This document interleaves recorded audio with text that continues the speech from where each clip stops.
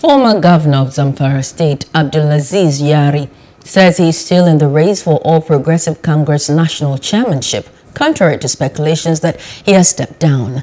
Yari, reacting to media reports that the party had already zoned the position to the North Central, said that he was not aware of any zoning agreement.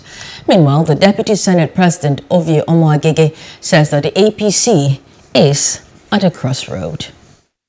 It's become necessary for me come and interact with you and solicit for your support. I believe strongly that we are going to get the results and the end result by 2023, inshallah.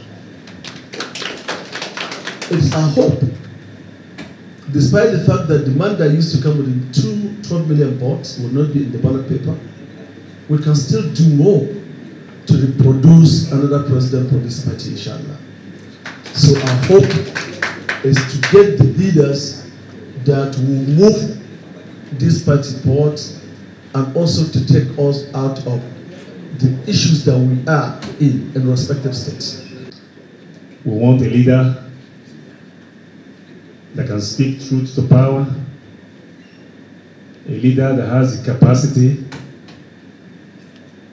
to arrest and bring together every ego, a leader that will make us understand that collectively we are bigger than our individual selves.